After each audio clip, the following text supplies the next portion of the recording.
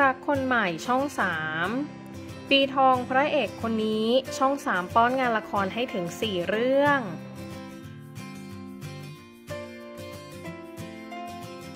ขึ้นแท่นเป็นพระเอกเจนใหม่ของช่อง 3 ที่กระแสมาแรงสุดๆค่ะสำหรับหนุ่มกองทัพพีคเพราะว่าในปี 2567 นี้ เจ้าตัวนั้นมีงานละครรุมแบบฉ่ำถึง 4 เรื่อง ไม่ว่าจะเป็นดุดอับสร ผลงานเรื่องที่ 4 ของดวงใจเทวพรหมประกบคู่กับนางเอกดาวรุ่งเคมีตรงกันอย่างมิ้นรันรวี มาต่อกันเรื่องที่ 2 อย่างแม่เลี้ยง ประกบคู่กับนางเอกงานแน่นอย่างอุ้มอิสยา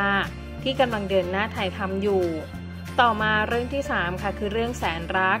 ประกบคู่กับพีพีบุญปรีดี และปิดท้ายด้วยละครเรื่องให้รักมันปักใจ